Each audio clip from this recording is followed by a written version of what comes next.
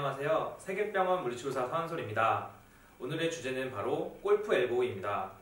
일단 골프 엘보우란 손목을 많이 사용해서 손목 굽힌 근육들이 과도하게 자극받아 팔꿈치 안쪽 힘줄 부분에 염증이 발생하는 질환입니다. 증상으로는 무거운 물건을 들거나 손목을 굽힐 때 등과 같은 동작을 하면 팔꿈치 안쪽 튀어나온 뼈 부분에서 통증이 발생합니다.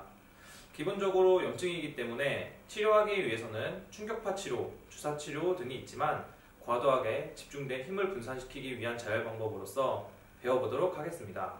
먼저 손목 굽힌 근육이 뭉치게 되면 손상된 힘줄 부분을 당겨서 자극이 되기 때문에 간단한 마사지를 통해 풀어주셔야 됩니다.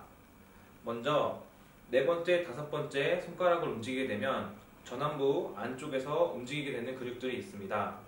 그 근육을 가볍게 누르신 후 손목을 아래, 위, 양옆으로 움직여 주시면 됩니다.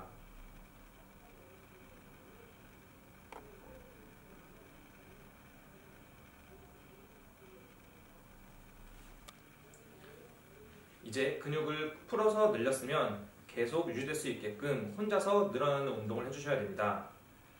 손을 쫙 펴주시고 버티시려고만 하시면 되고 반대쪽 손으로 내려주시면 됩니다. 처음 하시는 분들은 아프실 수 있으니까 힘의 강도를 조절해 주시고 기본적으로는 2세트 5번 정도 해주시고 점차 횟수를 늘려주시면 됩니다.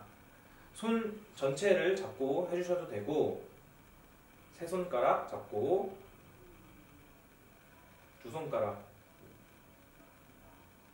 이렇게 다양하게 해주시면 효과가 더 좋습니다.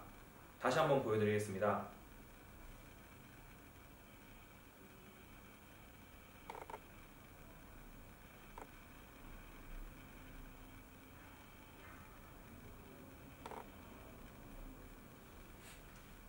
손목을 많이 쓰시는 분들은 이 마사지와 운동만 가끔 해주셔도 골프 엘보를 충분히 예방할 수 있으니 자주 해주시면 좋습니다.